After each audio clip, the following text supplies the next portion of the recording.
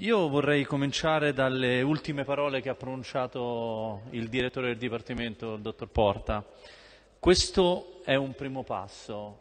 A me sembra una conclusione veramente perfetta, perché ci ritroviamo di fronte a un piano che è stato riscritto dopo ben 11 anni, quello è stato già detto, quello precedente è stato emanato da un eh, commissario straordinario eh, ed è stato fatto un lavoro molto approfondito con una ricerca delle informazioni su tutte le problematiche che ci sono nella, nella città. È ovvio che non può essere un lavoro definitivo, è un lavoro che d'inizio si, ricom- si, ricomincia, si ricomincia a creare una cultura di protezione civile. Questo è l'aspetto più importante che eh, questa amministrazione vuole dare. Io vorrei anche ricordare che in quest'Aula noi abbiamo approvato una mozione nella quale davamo indicazione alla, a, impegnavamo la sindaca e la giunta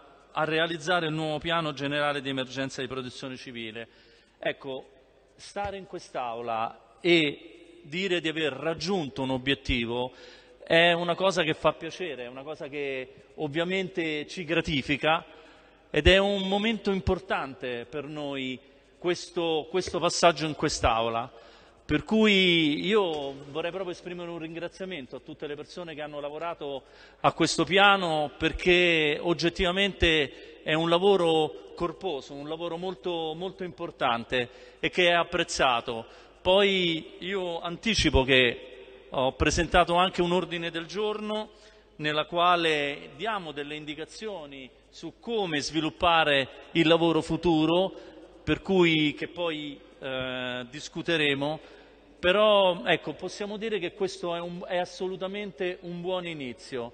È un buon inizio e io vorrei proprio sottolineare come questo deve essere la base di uno sviluppo della cultura della protezione civile nella città di Roma Capitale. Dobbiamo lavorare su questi aspetti, dobbiamo lavorare a diffondere questa cultura tra la cittadinanza, nelle scuole, in modo tale che si crei la, pre, preparare le persone a quegli eventi, perché la, la storia dell'Italia, che ha una storia molto corposa nella protezione civile, è importante, che ha fatto scuola anche a livello mondiale, ci dice che prepararsi, studiare gli eventi e far sì che ci possa essere una risposta adeguata, essere pronti a dare una risposta adeguata è il modo migliore per cercare di affrontare tutte quante le criticità.